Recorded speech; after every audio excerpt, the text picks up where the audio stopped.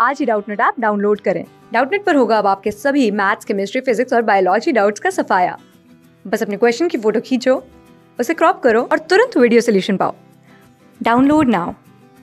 हमें इस क्वेश्चन में दिया हुआ है कि an electron moving along the X axis with an initial energy इसका दिया है 100 इलेक्ट्रॉन वोल्ट, ठीक है? इसके पास इनिशियल एनर्जी कितना है?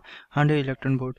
अब ये क्या कर रहा है? It enters region of magnetic field जिसका हमें मैग्नेटिक फ़ील्ड दिया है 1.5 पॉइंट फाइव इंटू टेन के पावर माइनस थ्री और ये किकअप डायरेक्शन दिया हुआ है, ठीक है?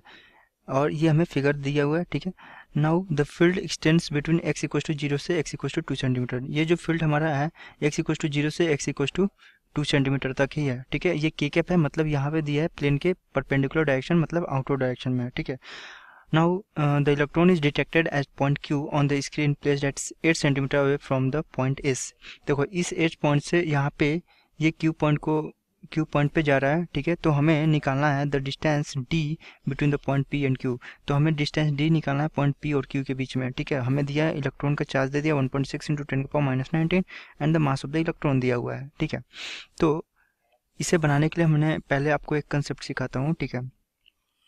ये है ये सर्कल है, ठीक है? और इस सर्कल में इलेक्ट्रॉन मूव कर रहा है, ठीक है? इसमें क्या है? इलेक्ट्रॉन ठीक है?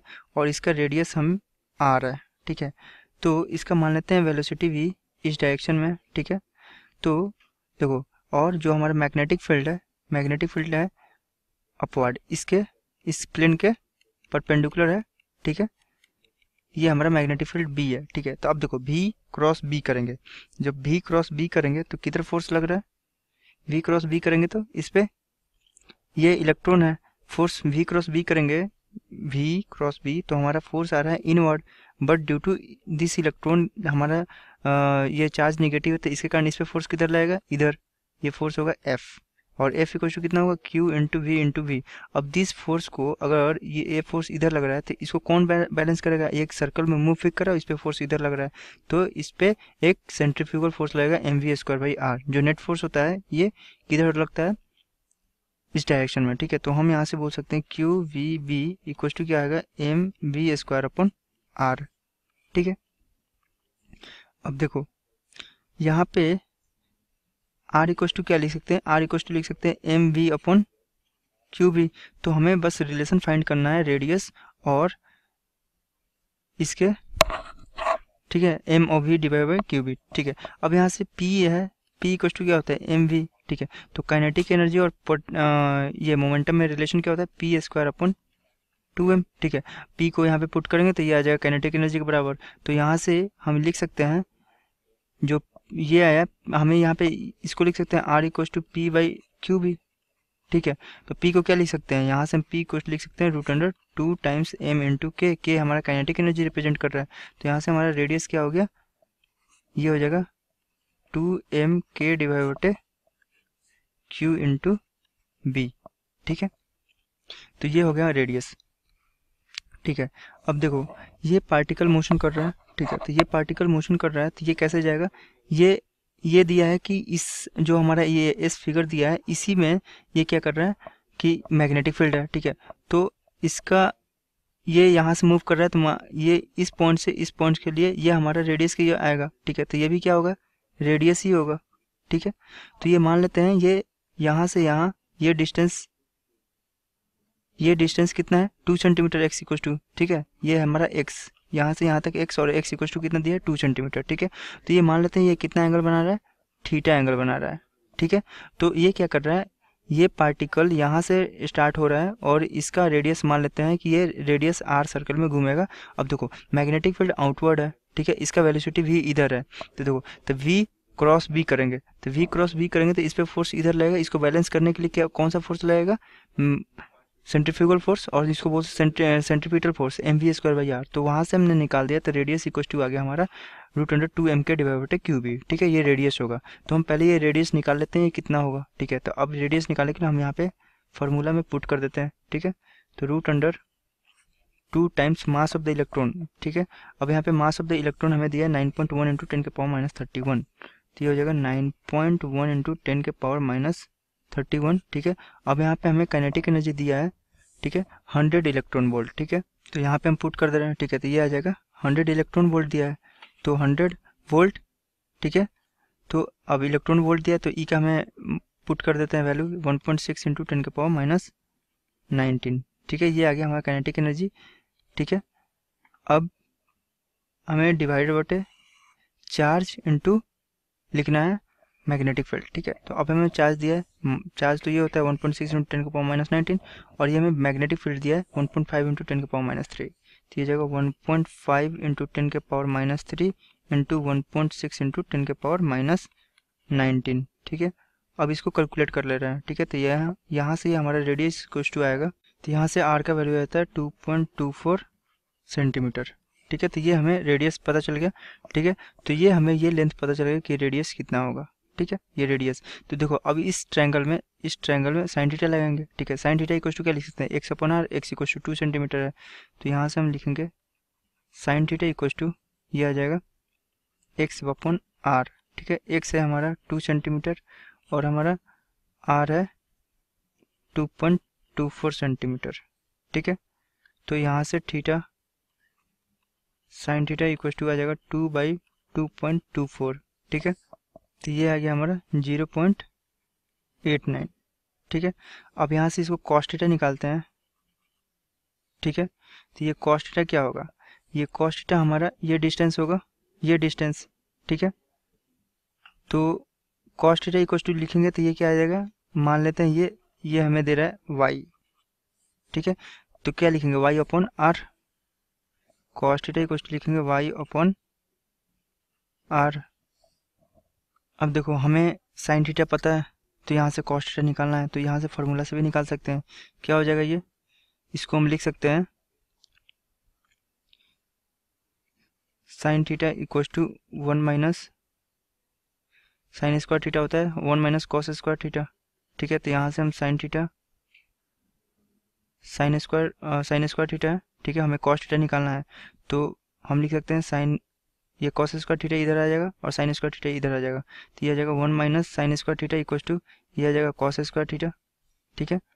अब यहाँ से कॉस थीटा इक्व टू क्या लिख सकते हैं? Root under one minus sine square theta ठीक है? तो अब यहाँ पे कॉस थीटा अब यहाँ पे पुट करते हैं, ठीक है? तो साइन वो root under one minus sine theta का हमने वैल्यू निकाल चुके हैं ज़ीरो पॉइंट एट नाइन तो ज़ीरो पॉइंट एट नाइन का होल स्क्वायर ठीक है? तो अब यहाँ से कॉस्ट थीटा आएगा हमारा ज़ीरो पॉइंट फोर फाइव, ठीक है? ये कॉस्ट डेटा आ गया। अब इस कॉस्ट डेटा को क्या करेंगे? हम इसमें पुट कर देंगे, ठीक है? तो अब देखो तो यहाँ से तो ये हमें Y upon R equal to कितना आ गया? ज़ीरो पॉइंट फोर फाइव, ठीक है? तो हमने क्या किया? यहाँ पे हमने वाई निकाल लिया, ठीक है? तो हम क्या करेंगे? आर में से वाई को माइनस कर देंगे तो ये डिस्टेंस निकल जाएगा हमारा, ठीक है? ये डिस्टेंस निकल जाएगा। तो ये डिस्टेंस को हमने मान लिया एच ठीक है? अब देखो, यहाँ से ये हमारा डिस्टेंस एच है, ठीक है? तो पहले हम यहाँ से y कैलकुलेट कर लेते हैं तो y इक्व टू लिख सकते हैं zero point four five into R का हमने वैल्यू कैलकुलेट किया है two point two four centimetre तो ये आ जाएगा two point two four centimetre ठीक है? तो y इक्व टू ये आ जाएगा, ये आएगा one point zero zero eight ठीक है? अब देखो, हमें वाई पता है और ये हमें एच निकालना है तो यहाँ से एच निकाल लेंगे एच इक्वस टू क्या लिख सकते हैं? एच इक्वस टू लिख सकते हैं।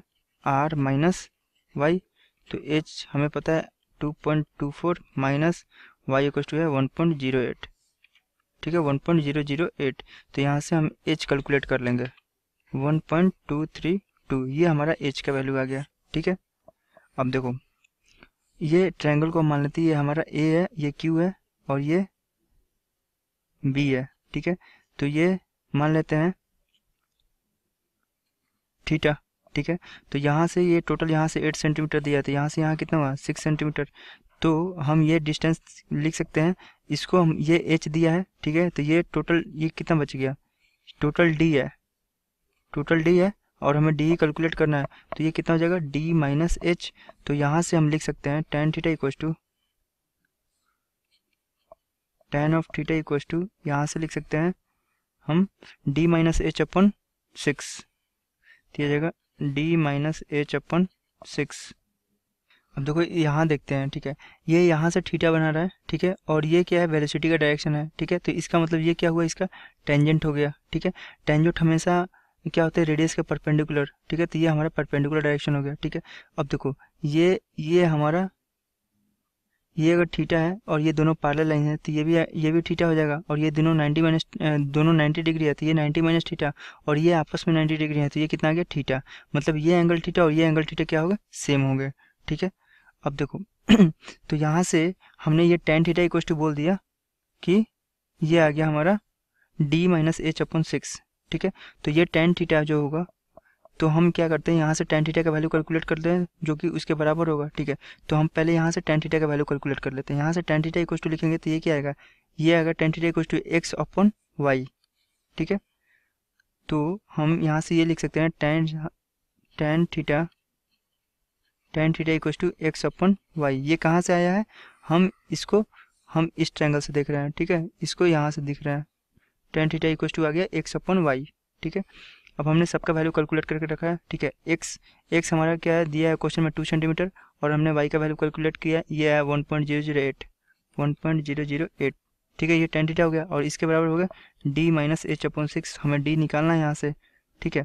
और हमने एच का भी कैलकुलेट कर लिया one point two three two तो यहाँ से इसको लिख सकते हैं two into six upon one point zero zero eight plus H equal to D और हमें डी कैलकुलेट करना है तो यह जाएगा twelve divide one point zero zero eight plus H अब एच का वैल्यू कितना है हमारा? One point two three two one point two three two equal to D तो यहाँ से डी कैलकुलेट करेंगे तो डी इक्व टू आ जाएगा अप्रॉक्स ये कितना आ जाएगा? थर्टीन सेंटीमीटर यही हमसे क्वेश्चन में पूछा था, ठीक है? तो ये हो गया हमारा क्वेश्चन का आंसर ठीक है? इसको और दूसरे तरीके से भी बना सकते थे। क्या करेंगे? देखो, ये हमारा आर कॉस्ट थीटा है, ये लेंथ ठीक है? तो ये एच कैलकुलेट करेंगे तो एच इक्व क्या लिख सकते हैं? टोटल आर है और ये आर कॉस्ट थीटा है। Y equal to R cos theta हो जाएगा। तो एक्स इक्व टू निकाल सकते हैं डायरेक्टली एच इक्व क्या हो जाएगा? आर कॉमन लेंगे। तो R minus R cos theta था। R into one minus cos theta हो जाएगा। तो सिमिलरली वहाँ से भी कैलकुलेट कर सकते थे। उससे थोड़ा जल्दी हो जाता, ठीक है? तो उससे निकालेंगे या फिर ऐसे निकालेंगे, दोनों ही सेम आंसर होगा उसके, ठीक है? तो ये हो गया हमारा क्वेश्चन का आंसर क्लास सिक्स से ट्वेल्थ से लेके NEET I I T JEE mains और एडवांस के लेवल तक। दस मिलियन से ज़्यादा स्टूडेंट्स का भरोसा। आज ही डाउनलोड करें डाउट नेट आप या व्हाट्सअप कीजिए अपने डाउट्स आठ चार सौ चार सौ चार सौ पर।